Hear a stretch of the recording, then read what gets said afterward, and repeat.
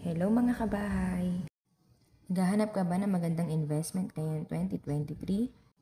Good news guys, dahil si Verdanza Homes, 5,200 lang yung monthly down payment niya and 15,000 reserve ka na.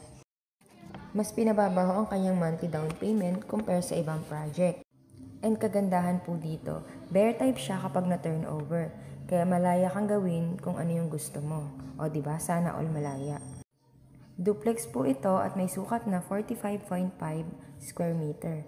Provision of 2 to 3 bedrooms, 1 toilet and bath. Kung mapapansin nyo po yung stair is kahoy na, kaya safe na safe po sa mga bata.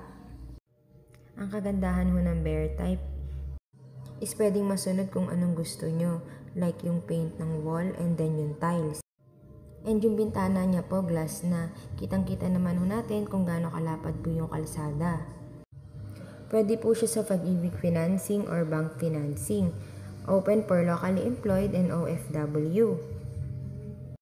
So, ayan sa taas, pwede nyo siyang gawing 2 to 3 bedrooms. Depende po sa inyo kung ano yung gusto nyong design.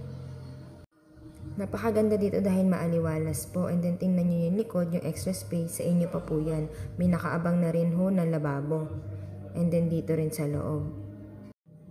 So ayan po yung pinto gawa din ho sa kahoy. Ang kagandahan dito, yung mga amenities niya. Ayan, may basketball court, may playground, and then may clubhouse din po. Sa mga interesado po, pwede niyo po akong i-message, Sherin Solinap Penuela, and you can text me po at 0950-8955-013. Thank you for watching guys. Bye!